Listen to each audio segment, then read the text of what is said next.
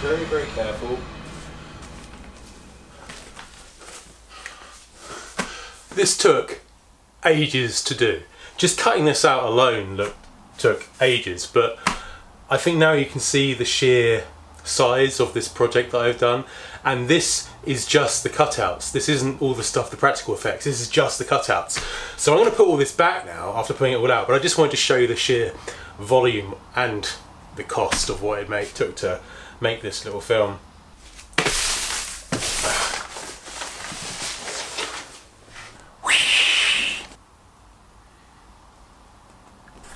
Thank you for all your hard work, Bones. I mean Wilson. Thank you for all your hard work. Eh? Good boy. Hi everybody. So yeah, I just wanted to show you all the printing I had to do. So each one of those prints was a sheet of A3. Now a sheet of A3 I managed to get down to one pound. Um, there was probably about, I would say, about 200 sheets of A3 in total. So about 200 pounds. Then I had to do all the cutting out, all the mount boarding, all the glue sticking, the glue gunning, uh, getting the scalpels, travelling to place to place. So all rounded up to probably be about three, four hundred pounds in total in the end. Maybe a little bit more. But I'm so happy with the way it's all turned out because um, obviously this isn't all for the money side of things. I just did it because I wanted to do it, and you know, four hundred pounds isn't really much when you, you know, when you get something done just the way you want it. And I think I got it just the way I wanted it. So I'm going to quickly show you some of the props I've got left um, with a bit of a purpose at the end of why I'm showing you. So here's the flamethrower, still intact. It's a little bit worn. I mean, a lot of these props, they didn't make it because I had to use water and milk and all sorts of other things, including honey as well and, and red food colouring. And I'm, i know all about that one. Uh, yeah, I've ruined a few a few t-shirts from that experience of using red food colouring. So there's the flamethrower. I, I made that completely 3D because it's so iconic in the film. I did want to put a piece of wood coming out of here and set it on fire, but it didn't work in the end, so I superimposed it. Um, Mean Machine Dean gave me a good tip, which I which he told me after I'd filmed, which is sad because I should have done it, but um, put like a red and yellow tissue paper and then blow down here with a, um, a hair dryer and we got the that would have been amazing. But um, I think the final result was okay. I'm not too not too sad that I didn't use cardboard for that. Um, and then I've got this bit, which is was the hardest shoot, in the, well, one of the hardest shoots, was to make the internal of the uh, the air shaft look 3D. When you watch the watch the, the film, um, you can barely even tell this looks 3D. Really, you can barely even tell. But um, I'm glad I made it. You've got burns down there from where I used uh, the flamethrower or, or aerosol and lighter. Um, got various other bits like the doors that opened, doors that open mechanism and stuff like that. Um, this was one of many of the air shaft uh, panels that opens up. That was a very, very difficult shoot. Oh, there's another one there. So sort of like it was, uh, let me get this right. So they sort of all went out that. It was that was extremely difficult. Here is the uh, the Nostromo, the Nostromo, or part of the Nostromo, so it comes down like that. Um, if you watch watch the film, you'll see it, or if you've seen Alien, you'll know what I'm talking about. We've got Brett. This is one of two because I wanted to make the shape, the face change from surprised to more surprised. Um, another shot of the Nostromo as it was landing. Here it comes down here. All these had to be obviously cut out. So, um, and I didn't hurt. I only hurt myself once cutting these out. Um, I was very lucky. A scalpel blade snapped, went straight past my eye, like that. Um, they say you should always wear goggles when you're using scalpels, however I didn't and I was lucky, very lucky. If you're using scalpels make sure you use goggles. But there's the um, an alien there, I really like that one, I really like that.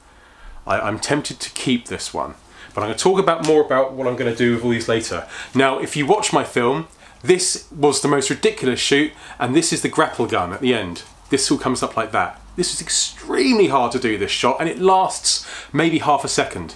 If you watch my film you'll know what I'm talking about. Hang on, let me, focus on that. So there you go, there's the grapple gun. And then I had to glue this bit down onto paper. You had to glue that down to paper or put a weight on it or something. And then both of these come out at the same time like that. And then you don't see my fingers because they're off, off the shot. So it's like that. I think I got it all right, but watch, watch, watch the thing and let me know. Uh, this is my one of my favourite uh, scenes in the entire film. Let me get this right, Bit like that. So the Ripley is um, set in the Nostromo for self-destruct and uh, she is about to try and make her way to the Narcissus, the little dropship machine um, uh, ship, to get out, and then she runs into the alien and it does that. Looks around the corner, and I, I absolutely love that scene. One of my favourite scenes in the entire film. Uh, we've got the tail here that kills Lambert, goes underneath her legs. There's the tail. We've got the warheads, which I only found out these are the warheads of the Nostromo. These are the warheads that uh, blow up the entire ship. Nuclear warheads, there's four of them. Um, chest burster runs across the table. Um, we have the face hugger. Now this isn't actually in the film. You don't see the face hugger like this in the film, but I just had to get an image of it jumping out of the egg towards the camera. I mean, it looks quite good, doesn't it? Like jumping towards the camera like that. You see? It does look quite good, doesn't it? Okay. And then this monstrosity, this way up, is the chest burster. Now what I had to do is be very careful and Photoshop this so it doesn't look funny. So these two layers here I had to Photoshop somewhat. Um, so they, they work in correlation together. So that comes out like that. And what I had to do is tape my hand, I'm not even joking, tape my hand to the back of this and then move it like that. Um, it was extremely hard to do that as well. There is, that's, that's the Nostromo, believe it or not. That is actually the Nostromo. I didn't know this till recently, but I thought the whole ship was a Nostromo. It, this is just a Nostromo. So the alien being aboard this is such a small, less, less a smaller area than I once thought, but this is the Nostromo and its cargo. And this was a scene I did where it moves down past the camera like that. So it just moves down, I don't know if it's gonna be in focus, but I'll put it in focus. So it moves down like that. There's the Nostromo. We've got a really iconic scene at the end where the alien's hand goes and comes up and freaks the hell out of Ripley.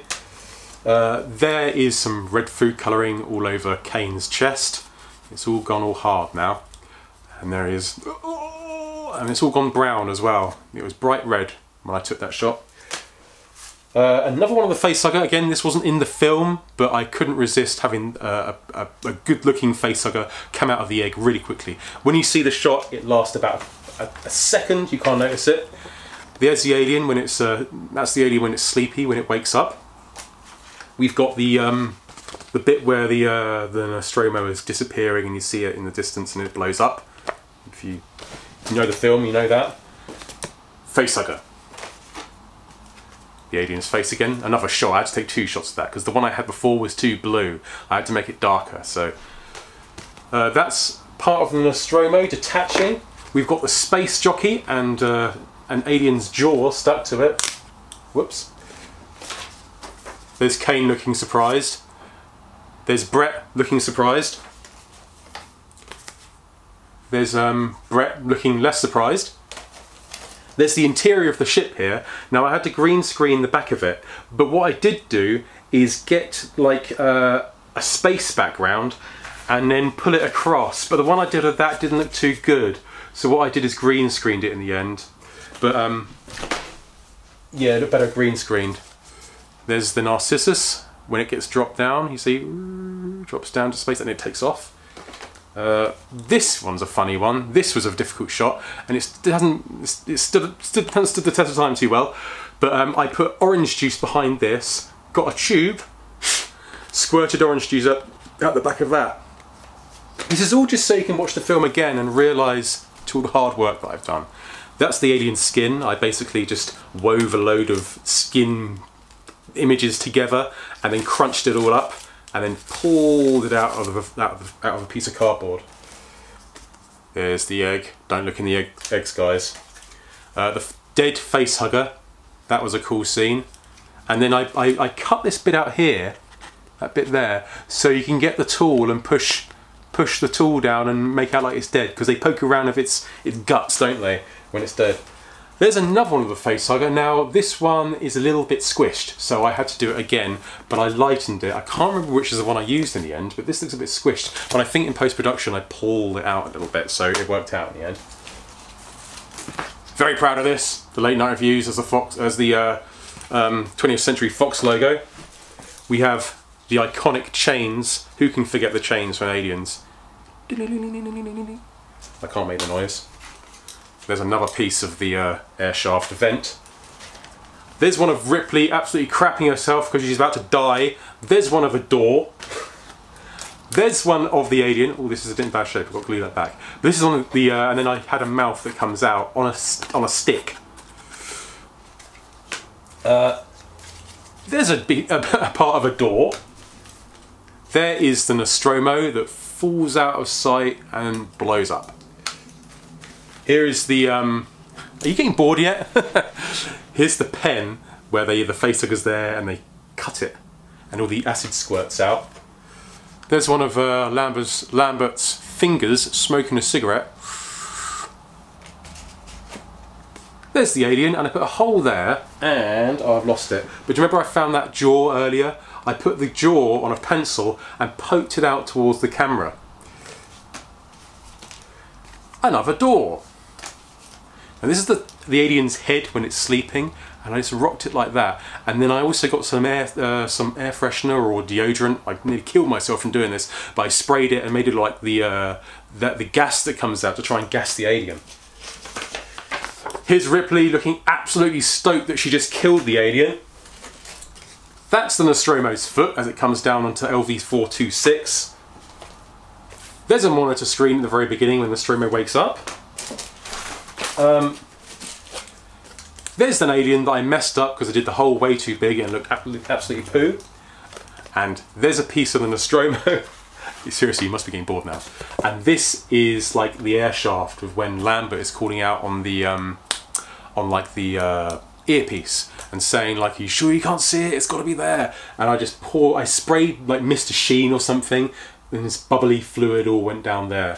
It looked quite good. On, on the back, we've got like an air shaft scene, and what I did is like got head torches and made it look like they're lights doing that. And another piece of an air shaft. And finally, finally, out of all of that, oh, and another piece of an air shaft and the alien's jaws. And finally, another piece of chain. So that's it. That's it. And in honesty, I don't know what to do with all this stuff. I don't know what to do with stuff. And this is where I am thinking about something. So I've got all this cardboard stuff left behind from the late night reviews of all the video game stuff I've done and a shed ton of this alien stuff. And what I did yesterday, you might find pretty cool. Now this is a one of a kind because um, you know, this is the parts I used in the film, but it's like a 3D effect of the alien scaring the shit out of Lambert. Can you see that? So I, found this really good box frame and I thought, hmm, box frames could be quite cool to display this work. So I'm thinking, I mean, at the moment, this, this project cost me £400 to make. I wouldn't mind trying to make my money back off it somehow.